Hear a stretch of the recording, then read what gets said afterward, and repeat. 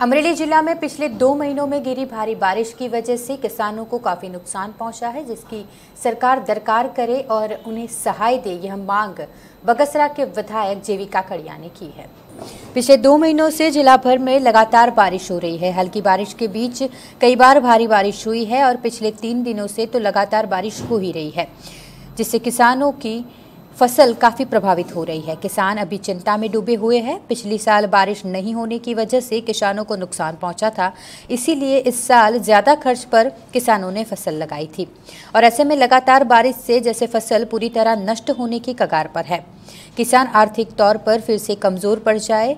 इससे पहले सरकार किसानों की मदद करे और फ़सल बीमा की व्यवस्था सरकार करे, यह मांग बगसरा के विधायक जेवी काकड़िया ने की है। क्योंकि अमरेली जिला में मुख्य व्यवसाय ही खेती है किसान बड़ी मेहनत से फसल लगाते हैं और उसमें ही नुकसान झेलना वे सहन नहीं कर पाते हैं ऐसे में सरकारी सहाय इन किसानों के लिए आशीर्वाद रूप बन सकती है એવી કાકડિયા ધારાસભ્ય ધારી બગસરા ખાંભા આજે અમરેલી જિલ્લામાં અતિશય વરસાદ સતત બે મહિનાથી સતત પડી રહ્યો છે ત્યારે ખેડૂતો જે ખુશખુશાલ હતા તેનું આજે ખેડૂતોનો તમામ પ્રકારનું જે કાંઈ વાવેતર છે, માનો કે કપાસ છે, તલ છે, મગફળી છે, એ તમામ વાવેતર જે ખૂબ જ મોલાદ સારી હતી તે અત્યારે સતત સતત બે બે મહિનાના વરસાદને અંતે આજે ખેતરોમાં પાણી ભરેલા છે.